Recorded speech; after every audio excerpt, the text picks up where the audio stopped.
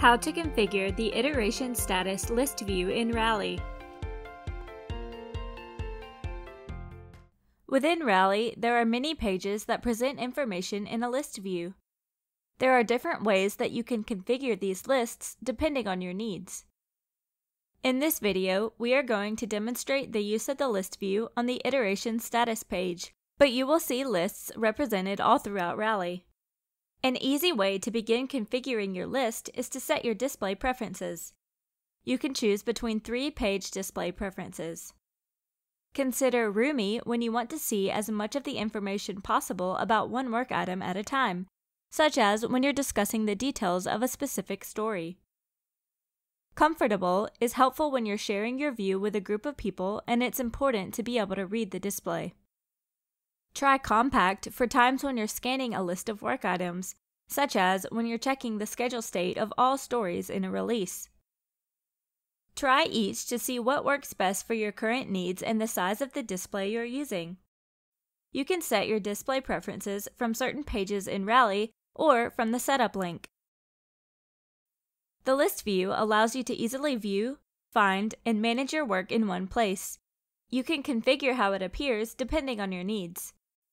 You have several options for configuring your list, including choosing which columns you would like to display, sorting by a column, reordering columns, and setting the number of work items that will be displayed. Let's start with configuring the columns that we would like to display. Select Show Fields. In the Show Columns dialog box, choose which fields you would like to display.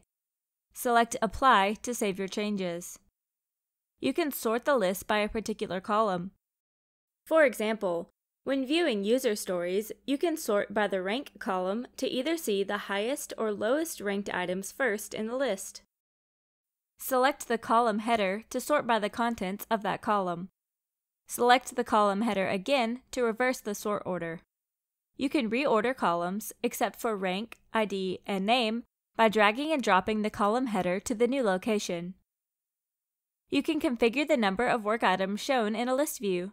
At the bottom of the page, select the number of work items to display. While in the list view, one way to make changes to a work item is to select one or more checkboxes next to the work item. A banner will appear showing you all the available actions that you can take with the work item. If you want to make changes to multiple work items at once, select the work items that you would like to edit. Make your changes in the Bulk Edit dialog box and then select Apply. The work items will be updated.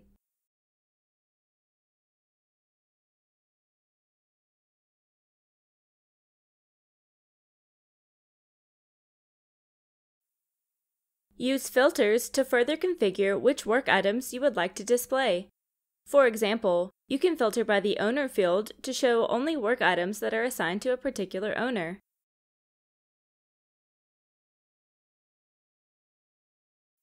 You can also use advanced filters to add even more detail to your search.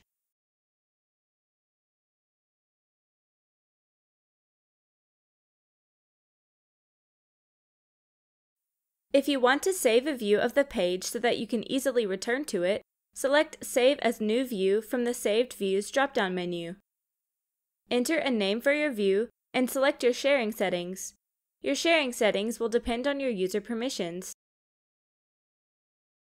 Select Save. Congratulations! Now you understand how to configure the iteration status list view in Rally. To learn more about Rally and Agile practices, check out our blog and community.